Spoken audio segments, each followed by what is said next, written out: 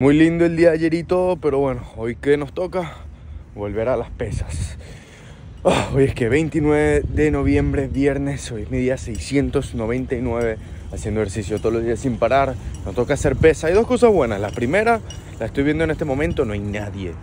No hay nadie en el gym ahorita, el viernes temprano en la mañana, obvio. Y la segunda cosa buena es que nos toca hacer pecho. Al menos nos toca hacer pecho. Vamos con todo. Ah, ¡Ah! ¡Qué fastidio! Vamos.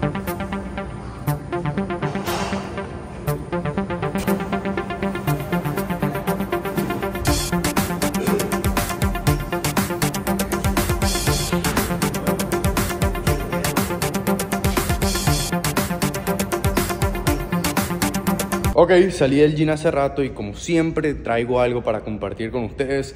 Como siempre, algo que yo siempre digo, que trato de decir es ser una buena persona. ¿A qué me refiero con ser una buena persona? Tú sabes los actos buenos y los actos no buenos que tú haces. Trata lo más posible de hacer los actos buenos. Pero también está esta noción de que una buena persona es una persona que jamás crea un conflicto, una persona que jamás va a ir en contra de la autoridad, una persona que siempre se va a conformar con lo que le digan y es lo peor que puedes hacer, es lo peor que puedes hacer. Ahí sí te digo que ser una buena persona en esa noción es lo peor que te puede pasar. El nunca cuestionar nada, el nunca enfrentar nada, el nunca decir, sabes que no voy a hacer esto a la manera que dice todo el mundo, lo voy a hacer a mi manera. Si no tienes eso, vas a estás destinado a vivir como un esclavo. Estás destinado a vivir como un esclavo si no tienes esa fuerza de voluntad en decir, ¿sabes qué?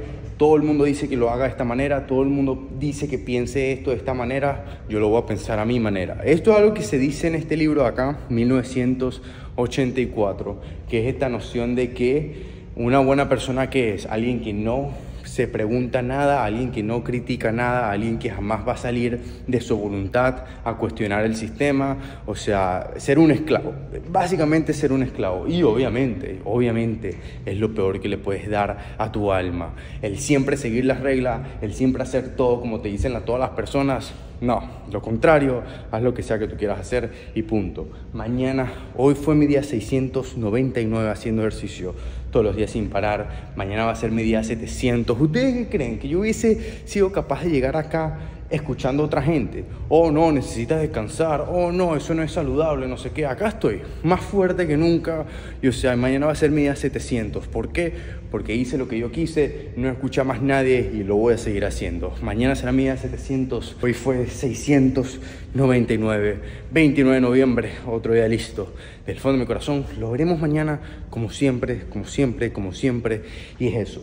Hagan los actos correctos, hagan las cosas que tengan que hacer, pero jamás se dejen influenciar por nadie.